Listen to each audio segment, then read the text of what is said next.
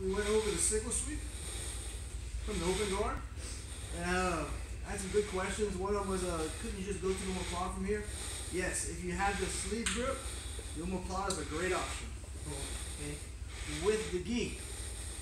Take away the gi, it's not quite as a good option. Okay, but the sickle sweep's still there. Okay, so anytime you you have a guy stand up and you open guard, you could switch to the sickle sweep, gi or no gi. Okay, just step back there.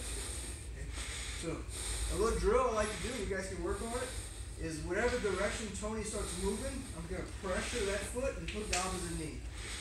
Okay, and if he moves the opposite way, I switch.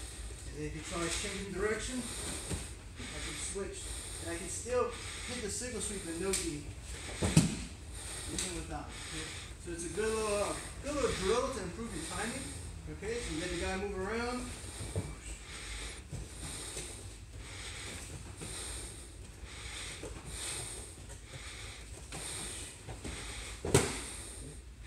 It's a, it's a, the omoplata is going to be available in the gi, but for no gi and like say self-defense, if Tony is like a part of our punch block series, the guy standing over you trying to hit you, and you're pushing off of him, when he crowds you, the sickle sweep is still there. Okay, so even for self-defense MMA, okay?